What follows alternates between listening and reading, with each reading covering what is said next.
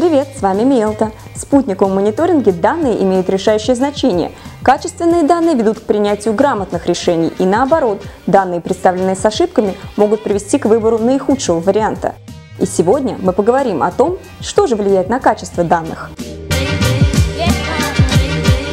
Норберт Виннер, основоположник кибернетики и теории искусственного интеллекта, считал, что информация – это основа управления. Однако информация – это всего лишь сведения, независимо от формы их представления. Для того, чтобы использовать информацию для принятия решения, необходимо, чтобы она превратилась в данные. То есть необходимо получить информацию без искажений, сохранить и обработать ее, обеспечить ее конфиденциальность и неизменность, а также представить информацию в удобном виде. На качество данных на каждом этапе влияет множество факторов. Например, неправильно подобранные подобранное оборудование, некачественный монтаж, неисправность транспортного средства и так далее.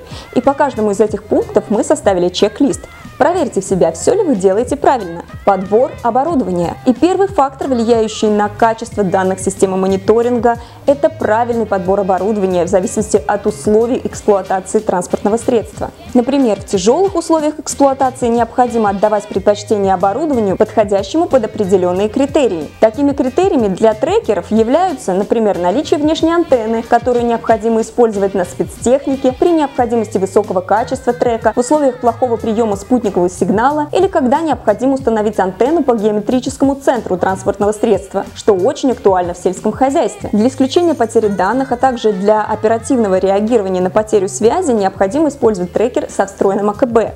Также, когда техника работает в условиях плохого приема GSM-сигнала или же вам необходима высокая частота отбивки трека, не забывайте про SD-карту. Количество SIM-карт также может повлиять на качество данных в роуминге или при плохом GSM-покрытии. А в случаях возможного саботажа не забывайте про вандалоустойчивое оборудование с защитными крышками для разъемов и прочным корпусом.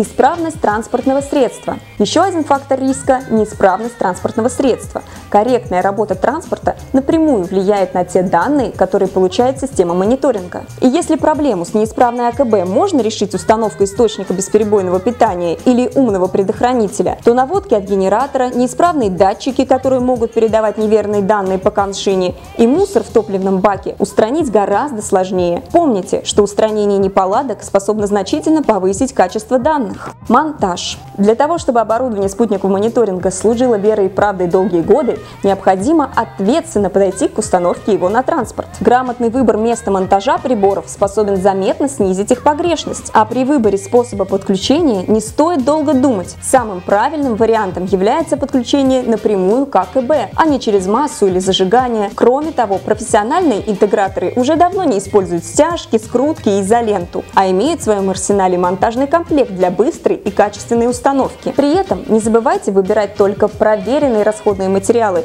ведь качество монтажа на 50% зависит именно от них. Настройка. После грамотного монтажа необходимо правильно настроить оборудование, а также не забывайте регулярно обновлять прошивку и проводить калибровку. Вандализм. Конечно же, вандализм и саботаж являются одними из основных факторов влияния на качество данных. Не забывайте регулярно проводить визуальный осмотр транспортного средства, устраивать внеплановые проверки и аудит системы мониторинга, чтобы снизить риск саботажа. Итак, теперь вы знаете, что влияет на данные и как повысить их качество.